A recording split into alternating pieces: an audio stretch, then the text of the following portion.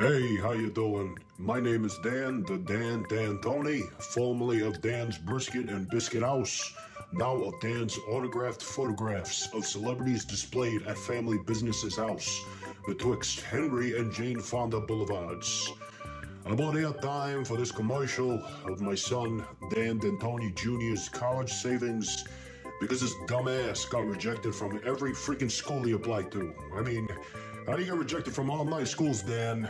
Your lack of notable achievements as a young man breaks his father's heart. Anyways, come down today and browse through our authentic autographed photographs of celebrities that are sure to snares up the walls of any family business. Whether your establishment sells pastrami sandwiches, deli assortments, or those aggressively gigantic hamburgers that you dare customers to consume in one sitting, our collection of photographs of celebrities will immediately enhance the decor of any small to medium sized establishment and let customers know that your business means business and has a je ne sais quoi, or as I like to say, wow factor. We got photos of who's who and who was who in Hollywood, such as, but not limited to, Mike Piazza during his rookie season, the People's Champion Bob Dole during his 1996 presidential campaign. It should have been you, Bob.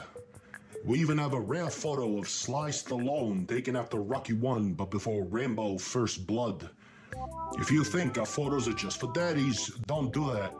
We also got something for the little ladies. Check this baby out. We got an authentic photograph of 1980s Italian American little boy sensation Justin Barberino. Imagine eating a bowl of meatballs next to that eye candy, huh, ladies? Again, I'm Dan, the Dan D'Antoni, formerly of Dan's Brisket and Biscuit House, now of Dan's autographed photographs of celebrities displayed at family businesses' house.